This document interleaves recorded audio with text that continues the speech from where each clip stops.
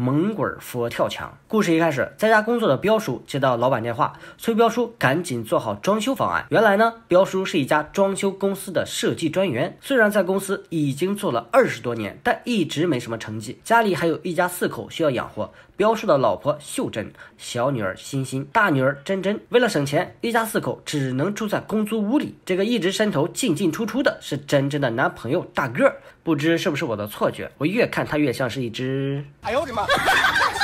第二天，已经熬了三个通宵的彪叔终于完成了方案。可是这份方案并没有让客户满意，还说这个方案特别的垃圾，这让彪叔感到特别沮丧。而此时，彪叔的老板又把他叫到了办公室，彪叔还以为自己要被开除了，谁知老板却给他一个信封：“老彪啊，别当回事儿，我感觉你这方案特别优秀，我要奖励你，送你一套豪华大别墅。”彪叔是惊喜莫名啊！我的个乖乖，还有这么傻的老板！一切的一切都表明着这个别墅的不正常。这一天，彪叔带着一家三口，还有真正的男朋友大个，反正免费劳动力嘛，不用白不用。来到了豪华大别墅，这个房子果然气派，厕所都比他们家客厅大。哎呀，太稀罕了！然而就在他们窃喜的时候，一群男人却冲进别墅，他们是老板派来的，搬走了所有家具，尴尬呀！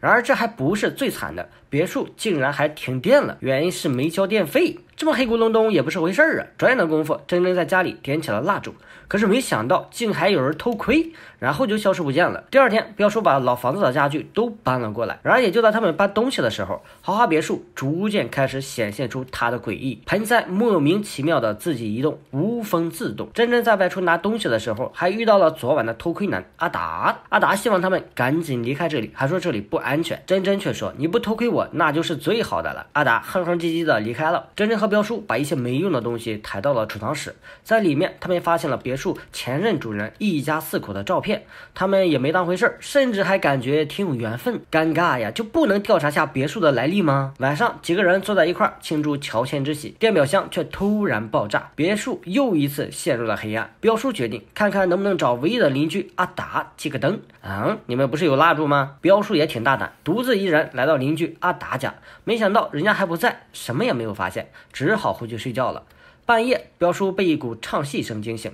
他和珍珍沿着声音一路找到了储藏室，但是来到储藏室之后，唱戏声却奇怪的消失了。这让珍珍想起了阿达说起的话：这座房子很邪门。第二天，彪叔找同事询问那座别墅的情况，同事却一脸恐慌，什么都不肯说。另一边，秀珍在购物的时候又一次遭到阿达的骚扰：“快走吧，不要住在这儿，不然真要领盒饭了。”秀珍被吓得是不轻啊。此时，珍珍正在家里忙着贴壁纸，她惊讶的发现墙上出现了恐怖的壁画。彪叔却觉得这只是熊孩子的恶作剧罢了。珍珍隐约感觉这事儿绝没有那么简单。晚上，大个儿在别墅睡觉的时候，恐怖的事儿终于发生了。他遇到了假装成珍珍的鬼儿，还想和他共度春宵。但是没想到这鬼儿竟还是个男的。这 feel，这感觉就是这么强势。第二天，大个儿就被扔到了彪叔的车后面。关键时刻，幸亏彪叔及时发现，不然大个儿还真得领盒饭。大个儿和珍珍决定去找一个道士帮忙。可是这个道士是个假道士。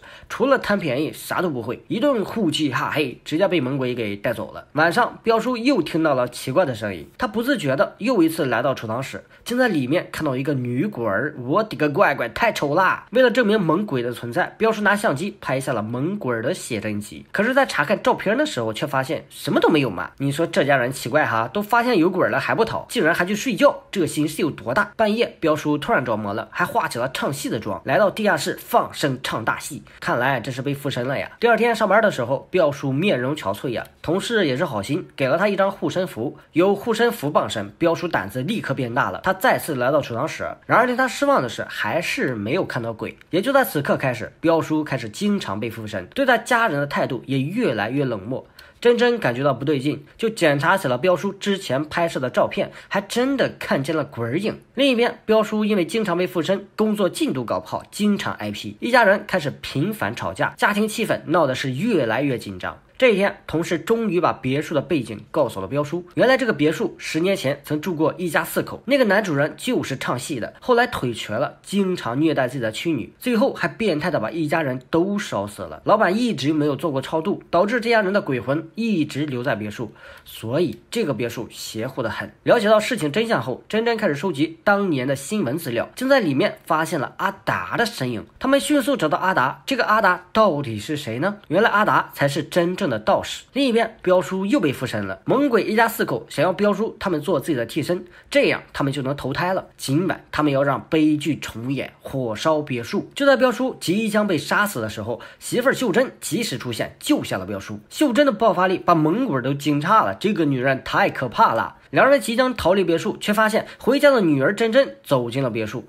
两口子只能再次回返。就这样，彪叔又被附身了。为啥老是附我身呢？我香啊！阿达及时赶到，阿达赶走了彪叔身上的鬼儿，不过自己也被击飞了。猛鬼终于现出了原形，道士阿达也学艺不精啊，根本不是对手。危急关头还得靠自家人。大个带着阿达的师傅的骨灰回来了，只要把骨灰撒在鬼儿身上就能消灭他。但紧张之下，骨灰坛掉在地上，骨灰撒了一地。最后还是彪叔靠谱啊，用风扇把骨灰吹到了猛鬼身上，让你欺负人。就这样，猛鬼也不行了，直接领盒饭。第二天，彪叔和同事合作，把别墅给拆了，不然剩下的几口鬼还得祸害人呀。就这样，故事结束了。看了这部电影，我这样说：笨鸟先飞呀，对付鬼也是一样，一定要记得提前行动。好了，我是老杨，我们下期再见。